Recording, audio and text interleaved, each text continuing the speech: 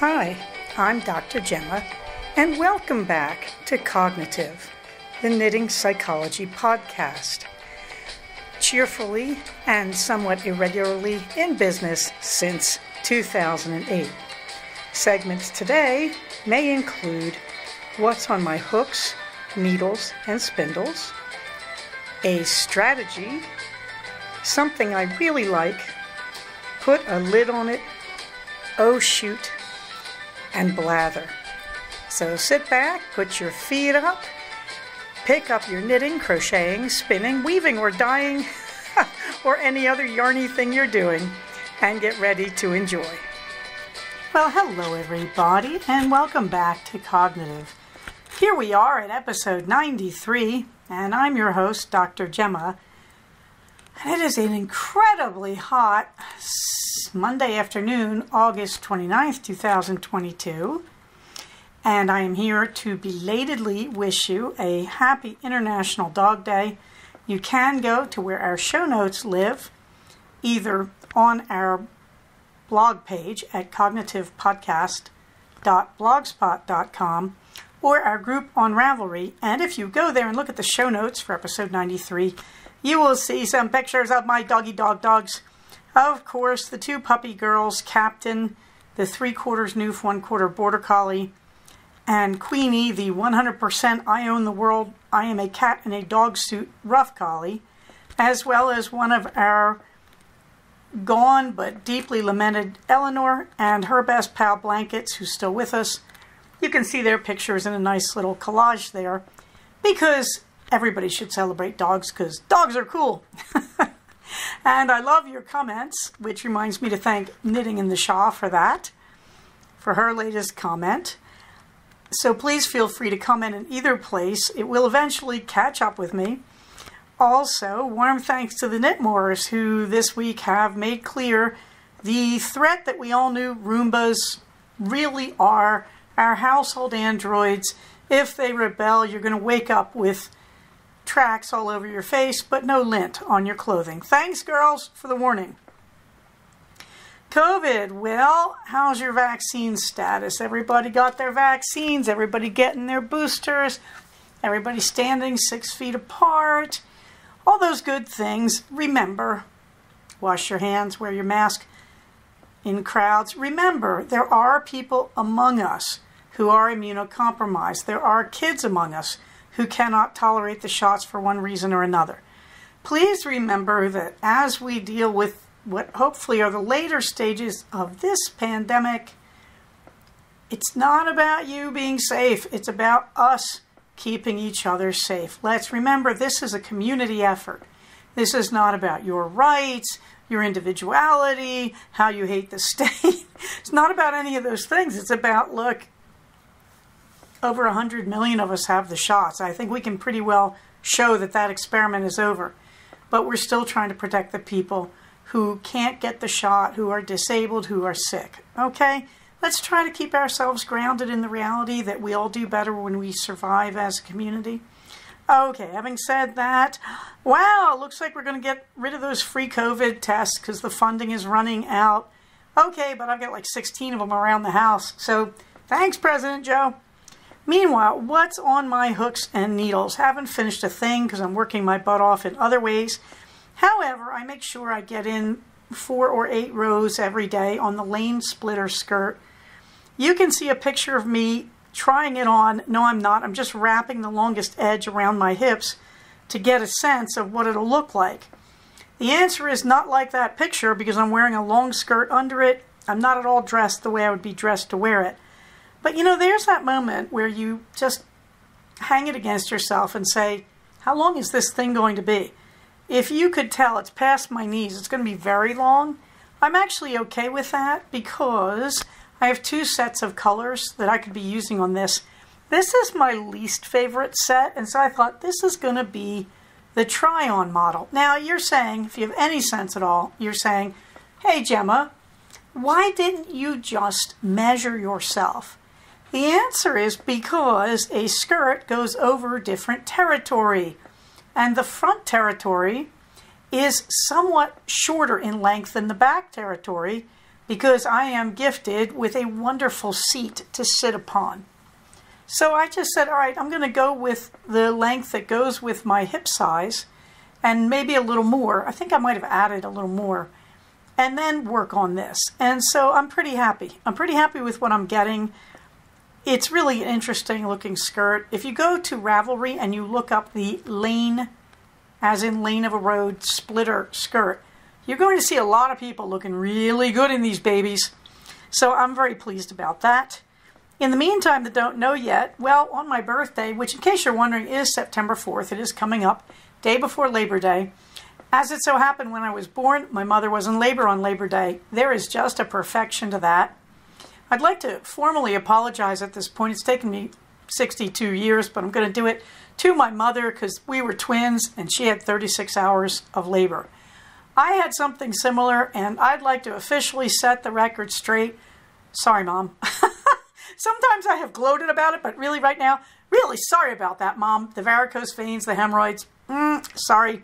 But here I am, 62 glorious years later, celebrating my birthday, and it's been a great ride, and I'm loving it. Although it's weird because you get in your 60s and you realize, hmm, maybe I am getting old. I didn't know that was possible for me I'm kind of pleased I've had this option. Yeah, also, my 62nd birthday was two major medical conferences that admitted that you could put diabetes into remission so that the patient doesn't need medications, and then one of them peed all over keto. Well, you're halfway there, guys. Hang in there. You'll figure it out yet. Yeah, well, I don't, here I am celebrating my birthday, and yet I must roll backwards. Do I have 250 blocks yet? I'm pretty sure I'm at the 250 mark. Should I count my blocks? You bet I should. At this point, the yarn is getting closer to the bottom. I can't tell if I actually have enough to make the 361 blocks I'd like to make, but I'll be okay with 18 blocks squared or with 19 by 18. I mean, we've reached the moment where I really am needing to just pull all the blocks out and lay them out on the ground and look at the dimensions and count them and arrange them a little bit. So, of course, I won't be doing that anytime soon, but that's what I should be doing. In case you were wondering, October 25th will be 300 blocks. My guess is I'm going to get about there and then start counting. All right. Nevertheless, what else am I doing? I'm not doing anything on the Pennsylvania Dutch embroidery or the Bright Cherries brick. The collie scarf that I made a few weeks ago did sell at auction for $50. People weren't that enthused about it. I think whenever you do duplicate stitching, you have a problem you always have when you show embroidery to non-embroiderers, where they don't get it is more impressionist than photographic. But it was nice. I sold it. A newbie got it. Apparently she really liked it. I've seen the video. It, it was a relief. Uh, the Midsummer Socks, I am past the heel of the first sock, working my way down the toe. Haven't given them much love this week. The same with the wrapped in tiny chains cardigan. I am moseying along on one of the front panels. These are not big. The back felt huge. But this is a very long cardigan, and I'm, as always, making it too big for myself. I don't know why I always knit the oversized. I think it's because I haven't really accepted that I'm not as oversized as I used to be. However, this is a great scrappy cardigan. A lot of people have been posting it on La La La Facebook. The designer has a group called Crochet Done Right. I was a little concerned that meant done right wing, I'll be honest, but doesn't seem to have. But not a lot of people on Crochet Done Right are bothering to keep up their Ravelry queues. And again, I thought, oh, if this is a political thing, I'm right out of there. But it doesn't seem to be, as far as I can tell. I think that brings up a problem for me as a crocheter that a lot of crocheters are not using Ravelry. That I have a slight concern that people who come to crochet before they come to knitting aren't using Ravelry. I think if you start with knitting, you're going to find out about Ravelry and then you're going to start mounting your crochet projects. But I notice a lot less contribution on the crochet side. Also, my LYS, which is quite a distance away, is now offering a Tunisian crochet class on Saturdays. Ma! I hate that. I love working on Saturdays and having Mondays off because everybody hates Monday and I've been freed from that burden. And also, it means on Monday I have an excuse to ignore all the work emails and everything else. It's my day off. And also, to be honest, when I need a head start on the week, I can do some of my work on Monday. So there we go. At any rate, this brings back the truth that I will not be taking Saturdays off anytime soon. But the Altered Stitch does have some good classes if you're in the LA area. They've been doing a great job. Also, they are bringing in Threadbare Yarns some kits to do an adorable Halloween cowl. Ah! Meanwhile, I'll just kick myself and cry over here in the corner and go back to work. But the Wrapped in Tiny Chains cardigan, a lot of people are doing it with yarn scraps. I'm not quite sure how that works. The thing I don't like about crochet is weaving in ends. Every time I do it, they kind of work themselves loose it's not as secure as it tends to be in knitting because knitted stitches are usually kind of tighter and more collapsed for that purpose. So, you know, your mileage may vary, but I'm back at, I wish there were more crocheters on Ravelry. Ravelry is still loaded with crochet patterns for free. And if you want to see this crochet in action, you have to go to the Facebook group Crochet Done Right. Okie dokie. My favorite resources, you know them. I've been adding to them gradually. Lisa Souza yarns and webs top my list. But this week I added Dizzy Blonde Studios because she's a friend and she does great yarn. And I don't know why it wasn't on that list in the beginning. My apologies. It's there now. I also have Sierra Cottons and Wools and Wool and Company because I still feel a personal sense of debt to them for popping up with that skein of Mecha that I needed to finish my most recent hat and selling it to me at a discount. I am not spinning this week, so let's move along into the strategy. Well, you know I've been doing emotional management strategies forever and a day now, and I thought I should give you the great acronym of emotional management. I'm not going to linger too much on this because you already know this. Now, as a practitioner myself, I use the simple four point logic eat, sleep, move, focus. Those are the big four. However, my teacher, my trainer, Marsha Linehan, gave us the acronym PLEASED, as in pleased to meet you, because Dr. Linehan is really huge on the acronyms. I find it a little clunky, I'll be honest, but if you're teaching a group, this is a great thing to know. So it is P for physical health. Keep your physical health maintained. It is amazing how many people expect to have really good mental health when they're not taking care of their physical health? Trust me. Also, you need to know if you see a person like me, we are required to rule out physical health issues when we're looking at mental health. That is pretty tricky when we are not medical doctors. Let me tell you something. And we are not qualified to pretend we are. So, in case you're wondering, in my master's, they didn't teach me anything about this. I really feel badly about that. I, there have to be better master's degrees, though, than the one I got, I'll be honest. But in my doctorate, they just taught us a handful of things you need to know.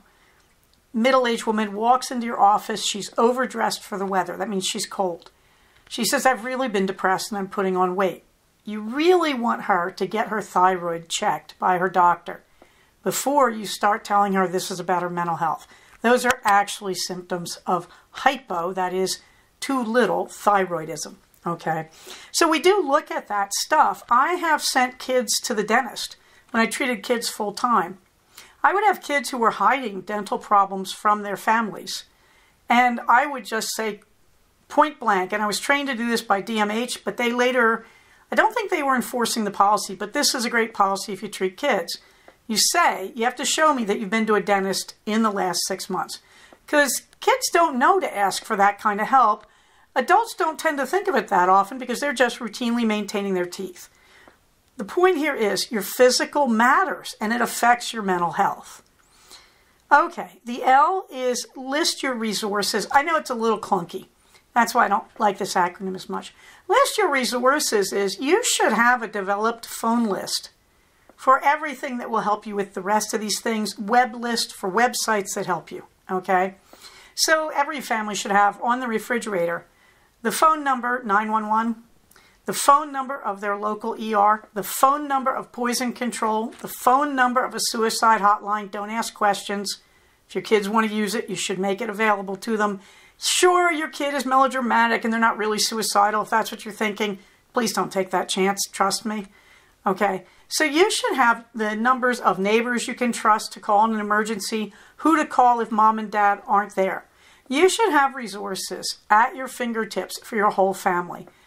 The other thing is you should have the listings in your contacts of your doctors, of your health care. You should have the apps.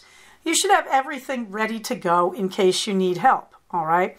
But also, I would say, because I care about diet and I love good keto recipes, I also have a list of websites for keto, websites or YouTube sites that I happen to trust, doctors that I like to listen to. When I have those days where I just need pasta, I listen to Jason Fung and Ken Berry. Tell me why that will kill me. Remember, I'm diabetic, okay? Your mileage may vary. So the point is, you should gather your self care resources. The name of your favorite massage place, the name of your local hot tub place, or your local uh, soak in salt water place, should you be so blessed. Okay? But you should have those resources around. Also, I'm just saying, you know, birthdays. If if my husband didn't have to search for my favorite massage therapist's phone number, well, that sure, sure make birthday presents more subtle. okay. The E of pleased is obviously going to be eat in a balanced way. The A is avoid drugs and alcohol. The pandemic didn't help us with drinking. I mean, I got used to seeing everybody mount their favorite cocktails now that they were staying at home. And again, I don't drink. I never really have, but also I'm diabetic. All alcohol, all fermentation takes place in the presence of sugar. So, you know, that's a smoking gun if you're diabetic. However, don't overdo.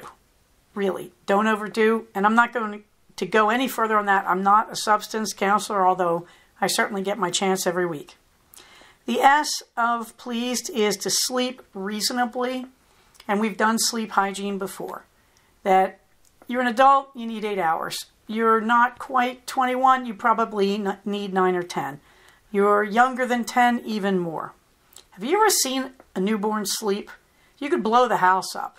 When my kid was a toddler, even to right now, his alarm goes off four times every morning because he sometimes it just turns itself off, then it restarts. He doesn't even wake up. Yeah, kids sleep like the dead. You need to sleep. Every mental health problem has sleep issues associated with it. That right there should tell you if you're not sleeping, your mental health is going to go. Okay, the E. Is that a second E? It is. Oh, yes. The second E is exercise in a balanced way.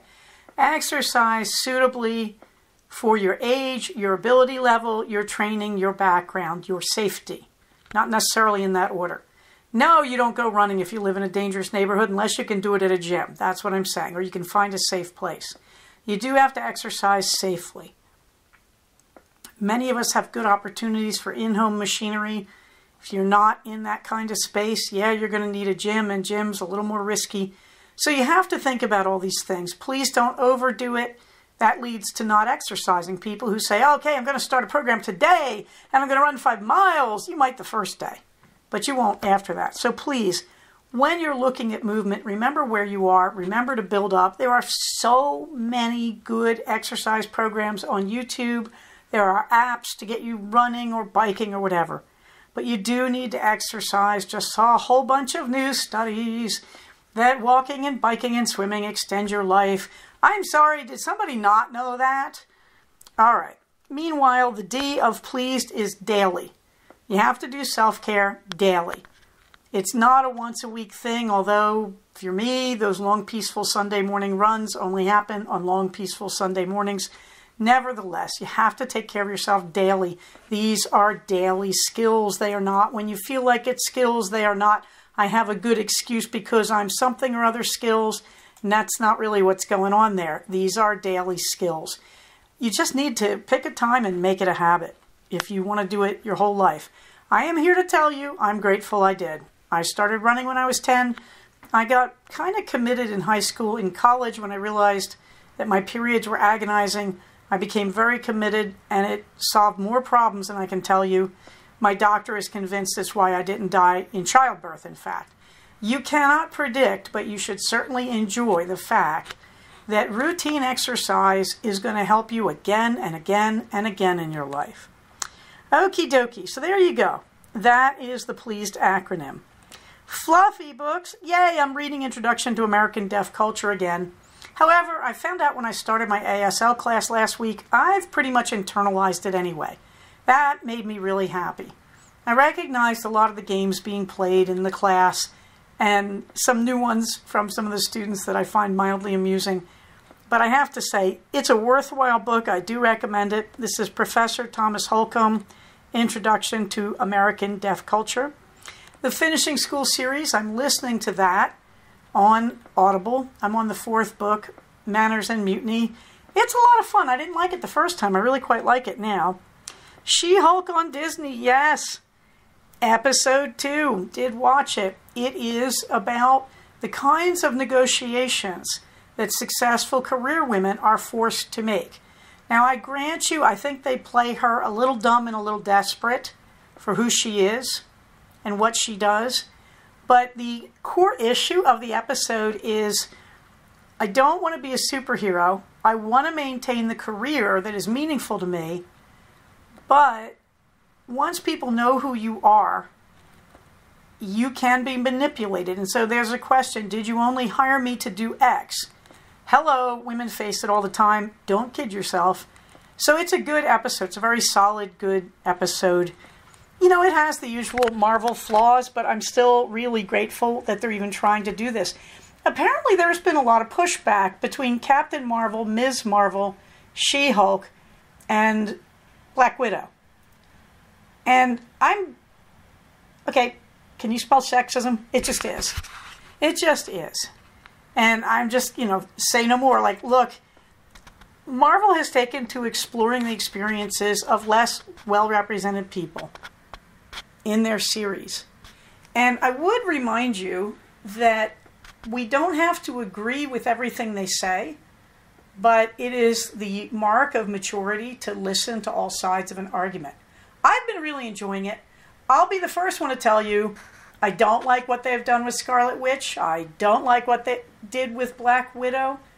But I'm starting to like the more normal people. Of course, Captain Marvel, adorable blonde, but still, I'm starting to like the fact that they're talking about more normal people. She Hulk, I really like because while she's kind of sexy and attractive in her own way, she's not. Guys, she's seven feet tall and she's green, okay? That's going to be a little off putting. In other words, they haven't quite grown up enough to represent the not adorable, not beautiful woman. I'd really like to see a kind of plain looking woman. Anyway, nonetheless, I'm enjoying this, okay? And it's a start. I also started reading The Murder of Mr. Wickham. Thank you. I can't remember who recommended that. It's very clever. In the very beginning, they have to establish everybody's motive for murdering Mr. Wickham. Now, let's be honest, if you've read Pride and Prejudice, you'd like to kill him, so there's millions of us. But in the beginning, I thought, oh no, they're all kind of related. All the major Austen characters have these weird relationships. And then I sort of looked back and said, that's really clever. The author's doing something really clever there. She's creating a fun story. Wickham is Wickham. Uh, what I really like is this author does a very believable plot for the era. It's the early 19th century. But Wickham is basically a 20, 21st century capitalist pig. And I like her even more for that. Because, by the way, what Wickham is doing in the book, the scam he's running, is actually a major plot in Charles Dickens' book, Little Dorrit that scamming people in this way was happening in the 19th century with all the explosive growth in industry and railroad. So it's fun, but I got to tell you, George Wickham is so 21st century. We all just love to hate him. But you know, like it, by chapter two, you're going, somebody just kill him. Come on, let's move on to the murder mystery. Somebody just kill him because you just hate him. And I think we hate him because he's really familiar to us. Okay, something I really like? Well, I'm taking the ASL class, and it's full immersion. And I respect that. And the problem is, I'm from an era when we were not taught language that way. Believe it or not, back in the 60s and the 70s, when we were taught a new language, we were taught it by being taught the grammatical rules and then trying to fit them to vocabulary. Full immersion has been shown to be a highly effective way to learn language. I am not complaining. But it's really hard for me. So I am recommending an ASL YouTube channel called Learn How to Sign. Now, there are goods and there are bads. This is a hearing person. That makes it easier for me, but also it's easier because she can approach it from my model, and she usually does. She's teaching a lot of vocabulary, and she goes back and teaches grammatical rules. So, you know, I understand the deaf perspective on this would be you should learn it from a deaf person. I happen to agree with that, but I have to tell you too, this old dog isn't learning the new tricks. However, I also have been using a lot of resources from deaf teachers. But when I break down and I just can't figure out what I'm doing, it's true, I'm going back to this hearing teacher. So that's my crutch. I suspect it is more about my age and the way I've been trained than it is about my hearing status because I struggled to learn Spanish and French and German from full immersion as well. That it really does matter your learning paradigm. Having said that, she's pretty good. That learn how to sign, well, it works the way I work. So, you know, the first class is here's what you need to know before you learn to sign about word order. Here's what you need to know about hand position and also here's what you need to know if you're online doing it, the kind of setup you need so that everybody can see your signing. You know, it's a shortcut. Either I was going to read it on a PowerPoint slide or I was going to hear somebody say it. So uh, that's just what that is. Okay. The other thing, I have a near eidetic memory, that is near photographic memory for what I hear. And I I just sometimes with visuals, I tend to remember if I look at a book and I'm really focused, I will remember what page a certain fact is on. In rare occasions, I can read the page from memory. And I know these are all my secrets being given away. It's like Batman telling you that he's Bruce Wayne, you know?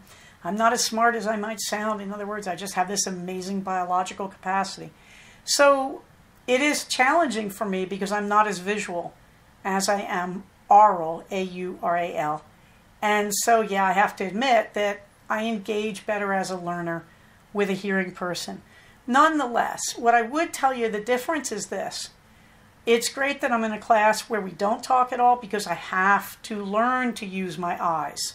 I have to learn not to depend on my ears. So, what am I really doing? I'm taking a shortcut to gain vocabulary based on the style of training I have and the fact that I can hack by using my ears. But I have to admit, I do get and respect the idea that you need to learn any language in a full immersion environment, and that means you're going to learn ASL most effectively from a deaf person. So, having said that, I do mention in something I really like learn how to sign because it's been a good hack for me as a hearing person. I don't know that I'd recommend it as the only way you learn to sign. I guess if you don't have other options, but full immersion with a deaf teacher is probably going to be the most effective.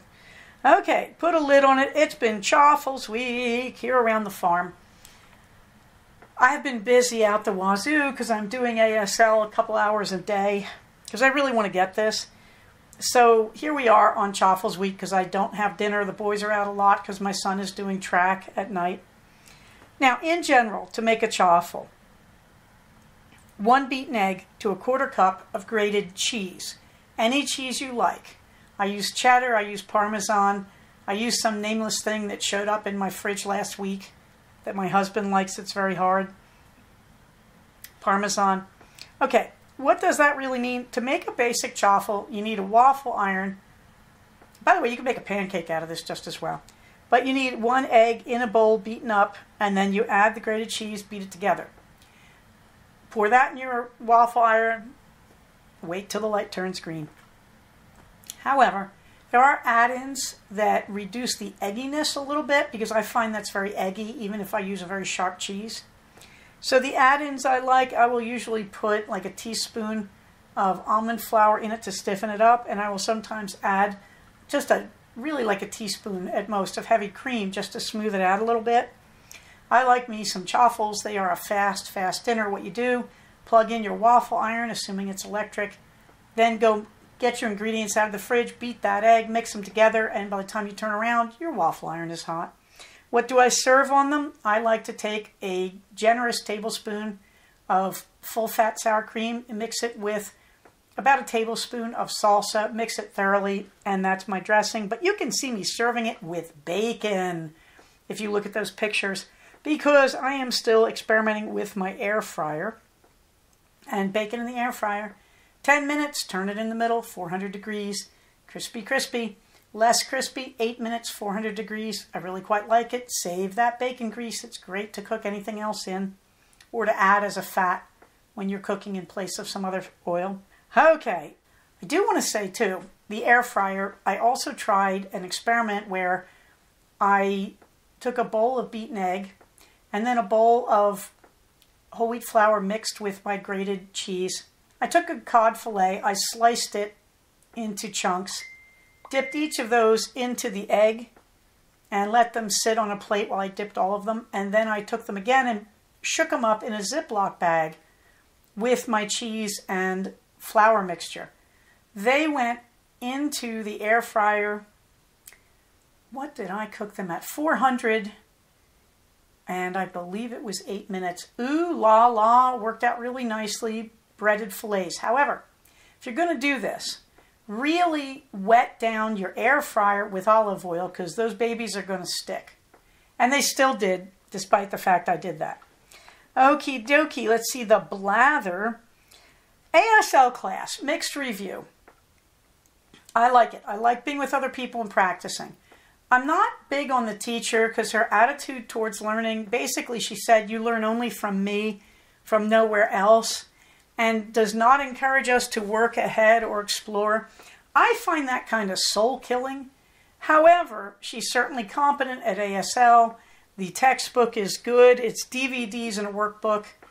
And yeah, I'm working ahead. I mean, I'm basically using YouTube resources. I do have to give a double thumbs up to the technology.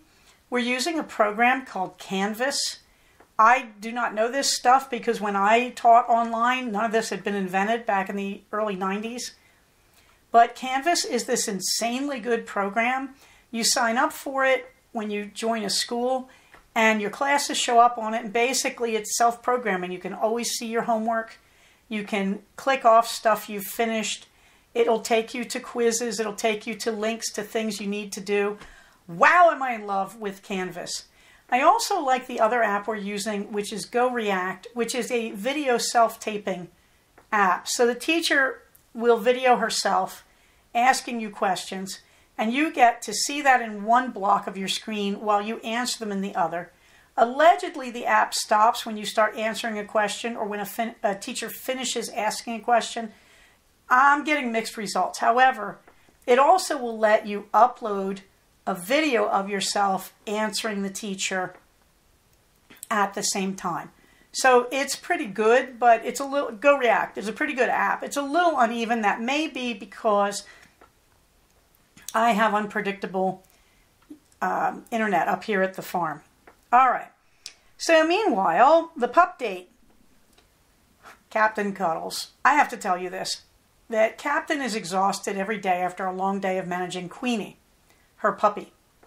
And I have discovered that at night I will go into my bedroom and we will crate Queenie for the night so she's not running loose, chewing things, killing herself, or peeing on the floors. That's going very well. She's very good about her crate. She is able to stay dry now, it looks like for about six or seven hours, so that's all working well. Well, Captain, meanwhile, is now a grown up, so she has official run of the house, although she can sometimes get herself into trouble, I will admit. And so Captain likes to go and sleep next to my husband. She's fascinated with him. But after I crate Queenie, I go into our bedroom, and often I will just lie down on the floor because it feels firm on my back. When I do this, Captain comes over, presses her whole body against the length of my body, and tries to lay her head on my arm if I'm le- leaning on my arm or have my arm sticking out. And then she leans against me and she groans and she wants to be held and loved. Let me tell you, the dog of my dreams arrives in my arms every night around 10 when I lie on that floor and Captain cuddles with me. Captain is also able to get on our high bed, which Queenie, no, Queenie's not like Eleanor before her. I think rough collies aren't that good pushing off their hind legs, whereas, believe me, that border collie quarter of Captain is serving her well. But she doesn't want to get on the bed and cuddle me. I think she feels it's kind of unstable, but she will lie next to me for about 10 minutes every night, and then she will get up. I think she's overheating with her big fur coat and walk away. But I have to tell you, sweetest thing on earth, Captain cuddles at night. Meanwhile, the beloved Hubs. Yeah, remember his left eye went wonkadoodle? His right eye this week went wonkadoodle. Not as serious. The retina just randomly tore. And, you know, we're worried this is connected to a bigger problem with his blood pressure. So all that's being checked out. But he was heroic. This week on Tuesday, while he was driving my kid to school, he suddenly realized he was losing vision in his right eye, and he just quietly delivered our son to his school and went over to the medical place down in the San Fernando Valley, called them, said, This is what's happening. They said, The surgeon will meet you there. And surgeon did a quick fix and sent him to the eye surgeon he'd been going to previously for his other eye. Eye surgeon said, Well, it's not disconnecting from the rest of the eye, that is the retina. But boy, that's a big retinal tear and just stapled it back in place. His vision is good. He's had a tense week. He's had a tense week. They have reassured him it's just kind of bad luck, but you know, we're looking at the blood pressure issue. So, okay, so he's doing okay, but it's been a little tense. On the calendar, I am going to Stitches, Southern California. I have been told that it's not a masking event.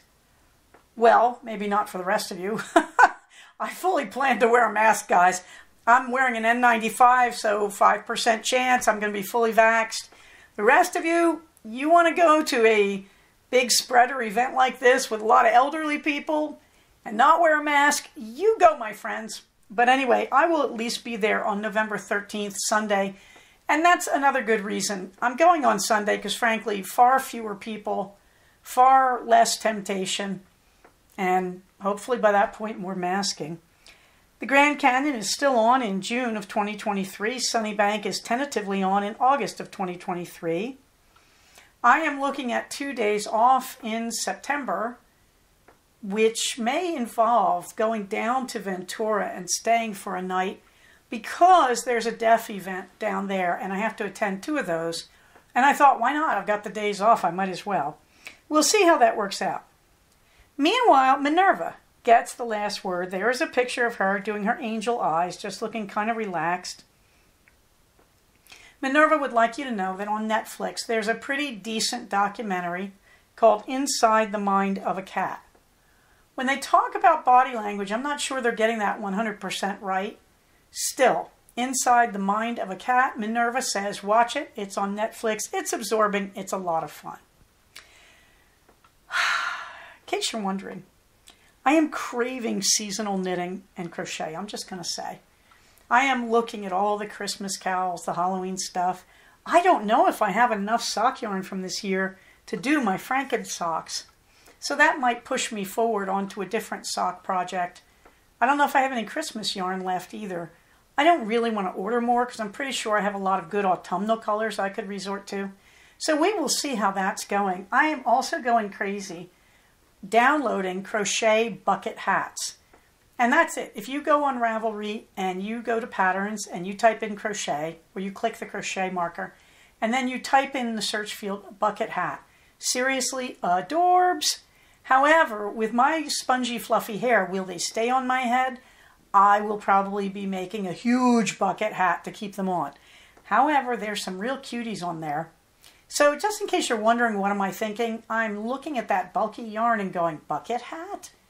Okay, so in the meantime, let's not forget our COVID safety. And let's also remember we're coming up on November. Uh, as one person called it, Rovember. I think it's going to be very interesting this year because I think we're going to get the pushback whatever direction it goes on Roe versus Wade. So please vote. You know, please pay attention. Please start marking up what you know about the various issues. Please remember there's a lot of deceptive advertising out there, as I just learned this week. Please do this carefully and vote as if your life and your kids' lives depend on it. In the meantime, remember all the COVID, it's still out there. People are still dying, and people are not immune. People have compromised immune systems. You know, speaking as someone who frequently treats those people, the elderly, the disabled, cancer people. Okay, folks, please remember six feet distance, wear your mask, wash your hands, keep your vaccines up to date. Most of all, everybody, stay safe, take care of each other, and I'll talk to you soon. Bye bye. So, we have come to the end of another episode of Cogknitive. Please do not use this podcast to diagnose yourself. If you think you are having a mental health problem, please contact a licensed mental health professional. Show notes for these episodes can be found at cogknitivepodcast, all one word, .blogspot.com. Episodes can be found at iTunes under the name Cogknitive Podcast, but also can be found posted next to the show notes on the Blogspot page. Thank you so much for listening. Everybody, stay safe, take care of each other, and I'll talk to you soon. Bye bye.